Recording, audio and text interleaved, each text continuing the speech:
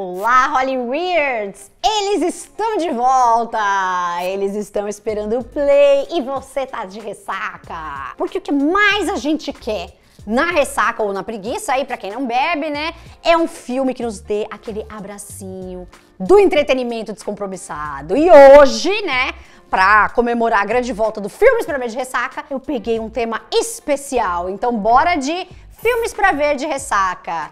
Bailarinas doidas.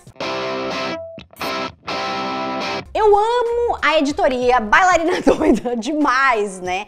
Porque tem o cenário perfeito para tudo, tem a cobrança pela perfeição, tem a alta competitividade, a expressão do movimento ali, as lesões, os contratempos, a pressão dos pais, a pressão financeira, pressão até do sobrenatural às vezes, né? Junte toda essa química, pronto eis uma bailarina doida. Ah, grande Black Swan que inaugurou aí, né, um fio, uma thread de filmes de bailarina doida, com altos problemas de personalidade, pá. Então vamos começar aí. Já vou começar aqui, né? O Black Swan, vou falar dele, mas calma. Vou começar com um que é a Carinha de Ressaca, que não é um filme, é uma série pra ver de ressaca. O nome dela é Flesh and Bone, ou Carne e Osso, né? Mas é Flesh and Bone o nome mesmo, em português aí, né, no Brasil. Da Moira Walley Beckett para Stars Play. E no Brasil você vê dentro da Amazon Prime. E temos lá no filme a protagonista Claire, interpretada por Sarah Hay, que fez parte do grupo de bailarinas do filme Black Black Swan, você vê ela lá no fundinho e tal.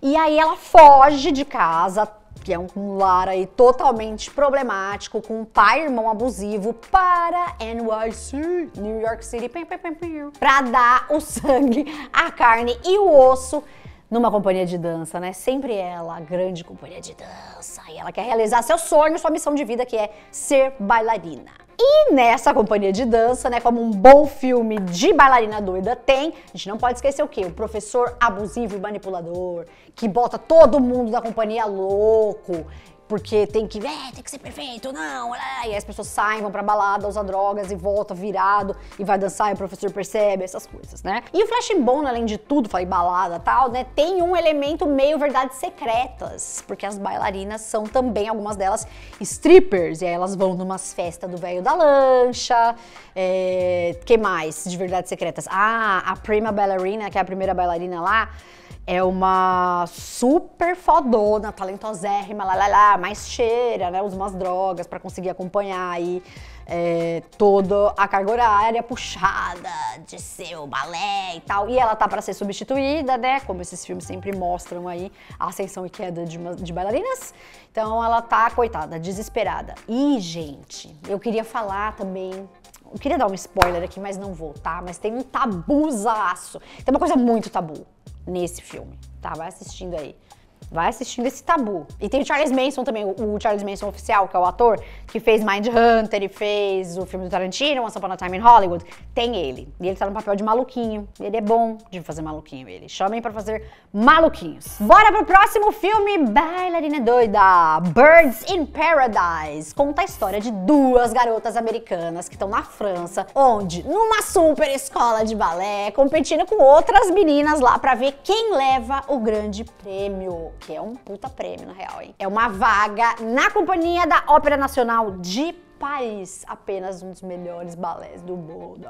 E as protagonistas são Katie Sanders e Martine Durand. Sendo a Katie a atriz Diane Silvers, de Booksmart. Vocês lembram dela com aquela jaqueta maravilhosa no Booksmart? Pois é, ela. Ela fez Ma também. E a Martine é a Christine Froseth, que fez, é a protagonista do Quem é Você, Alaska. E ela também fez Sierra Burgess is a Loser, que é um filme bem legal pra ver de ressaca também, viu? Pode pôr na lista aí, mas não é de bailarina doida, não. Voltando, a Katie é uma menina pobre que veio dos Estados Unidos, que dança balé há apenas 5 anos. E as outras meninas, e a Martine, principalmente, né, é uma ricaça que dança balé desde os dois anos de idade e que perdeu o irmão gêmeo sob circunstâncias ainda misteriosas, né? E sempre como rola aí com essas histórias de adolescentes e de bailarinas, é tudo muito intenso, muito caótico, muito cheio de segredos e tensões sexuais todo quanto é lado, vocês vão ver. Também queria falar uma coisa, mas não posso porque é spoiler. Mas tem tabu.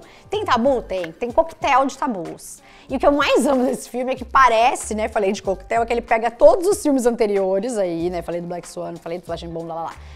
Faz um, um coquetel aí, bate com gelo e serve. porque tem todos os elementos. Tem alucinações, tipo bailarinas do Suspiria, tem drogas, tem dramas familiares, tem pegação entre bailarinas.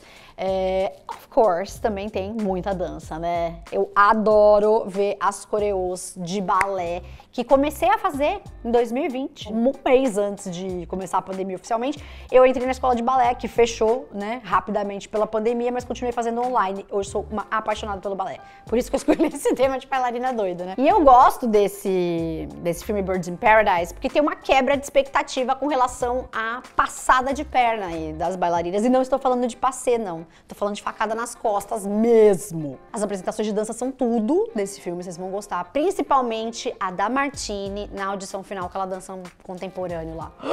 Babado. E tem uma apresentação lá, final, finaleira da finaleira mesmo, que é muito linda, eu adorei. Temos também quem no elenco? Jacqueline Bisset, como uma professora de balé exigente, aquela que fuma e tá de chale o tempo todo, sabe? Então, ela faz essa mulher aí. E não pode faltar também, né, a professora sábia, exigente fumante do chale. Haha. Também tá na Amazon Prime esse filme Birds in Paradise. É bem legal. Pra ressaca, essas duas coisas são perfeitas. Vamos para o próximo filme, que é uma série pra ver de ressaca. Tiny Pretty Things. Coisinhas pequenininhas, bonitinhas. Tiny Pretty Things parece Pretty Little Liars. E tem a ver até, viu?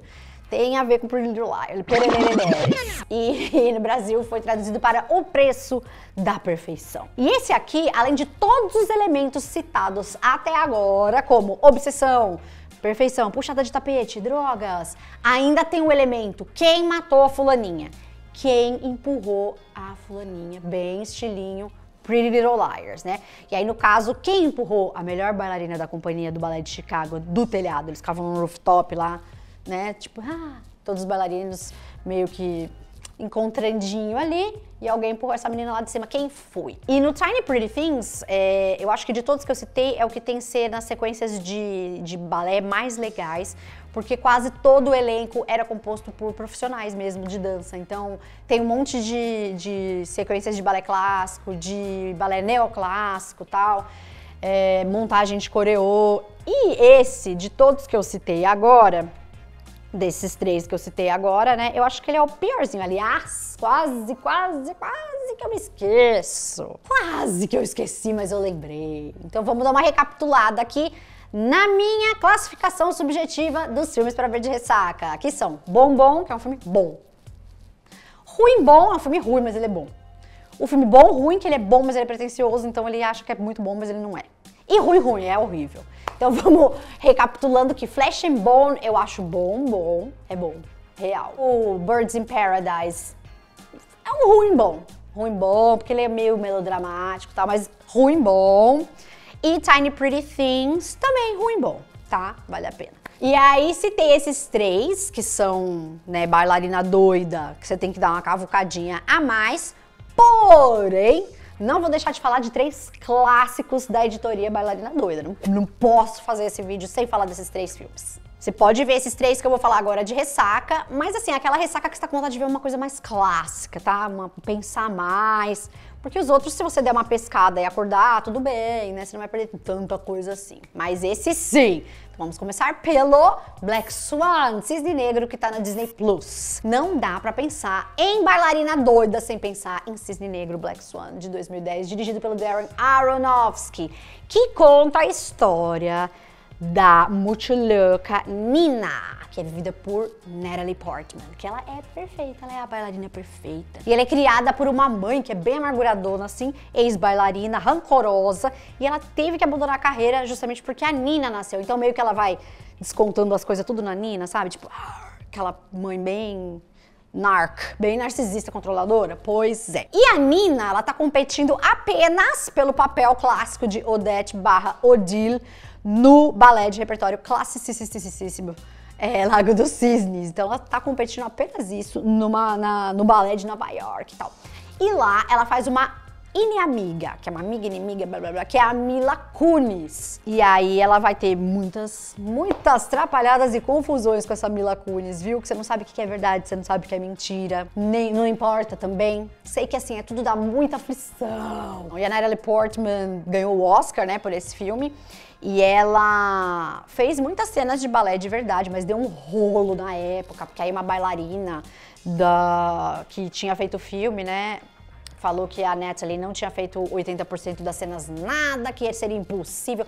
Deu maior brigaiada, mas assim, sei que Natalie Portman fez um ótimo trabalho, mas não, realmente, ela não ia conseguir dançar o Lago dos Cisnes sem nunca ter feito balé. As pessoas demoram 20 anos para fazer isso. Mas ok, ela mandou muito bem. Falei aqui do Black Swan que tem esse limite entre fantasia e realidade. Ah, esse limite, the limit does not exist. Bem Mean Girls mesmo, o limite não existe quando estamos falando de Suspiria, outro clássico da editoria Bailarina Doida. Sim. Esse é um clássico do Dario Argento de 1977 e ele escreveu esse filme junto com a então companheira dele, a atriz Daria Nicolodi, que é a mãe da Asia Argento, inclusive. Ela era casada com ele na época e ela faz Suspiria também, ela tem um papel no filme. E ele conta a história de uma bailarina americana que chega em Berlim numa noite horrorosa de chuva, assim, pá, caindo mundos, e ela chega na prestigiadíssima Tans Dance Academy. E aí que eles não deixam ela entrar, falam: "Não, ninguém te chamou aqui", sei lá, mas não, eu tenho aí a carta. Falar e-mail em 1977. Eu tenho a carta aqui, recebi não, hum, não sei de nada. E aí, depois de uma mortezinha aqui, uma mortezinha ali, eles ligam pra ela e falam assim: não, pode vir, amiga, vai, vem que você tá aceita. E aí ela ia morar fora do, do, da escola, mas falaram: não, fica na escola que é muito legal, fica aqui. E basicamente a escola é um coven cheio de bruxas. E aí tem tudo que as bruxas amam, né? Você vai ver. Tem o um remake também com a Dakota Johnson, que eu ainda não vi. Acho que eu vou pegar ele pra ver de ressaca. E vou falar de mais um clássico da editoria Bailarina Doida, de 1948. Temos The Red Shoes, Sapatinhos Vermelhos. É um clássico do gênero. Talvez o primeiro do gênero? Não. Tem um que chama Black Narcissus, que é da, acho que é o primeiro, é Black Narcissus, de bailarina doida. Ele conta a história de uma moçoila, uma bailarina muito aplicada, muito perfeccionista, chamada Victoria Page. E ela tá ali em conflito com sua carreira e seu grande amor. Por quê? Porque ela tá apaixonada pelo cara que é o compositor do balé que ela vai dançar e o empresário da companhia, ele é super controlador, control freak, manipulador, ele não deixa ninguém da companhia namorar, sabe? Fica controlando a vida de todo mundo e tal. E aí ela fica nesse impasse. É muito legal que ela resume bem é, uma coisa central nos personagens bailarina doidas, que eu amo, que é um repórter pergunta para ela: "Ah, mas por que que você tem que dançar?" E aí ela fala pro repórter: "Ah, mas por que você tem que viver?" E aí ele fala: "Ué, não sei, né, mas eu preciso viver." E ela: "É, minha resposta também é essa. Eu preciso dançar." essa paixão que move essas grandes bailarinas doidas, né? Ai, que editoria maravilhosa. Gostei de fazer um filme pra ver de ressaca temático, viu? Vou fazer mais. Escreve aí nos comentários uns temas, bem tema bizarro mesmo, tá? Pra eu fazer. E depois me contem aqui se vocês assistiram, se vocês curtiram ver de ressaca ou na preguiça, ou sei lá, do jeito que vocês quiserem. Até a próxima. Tchau!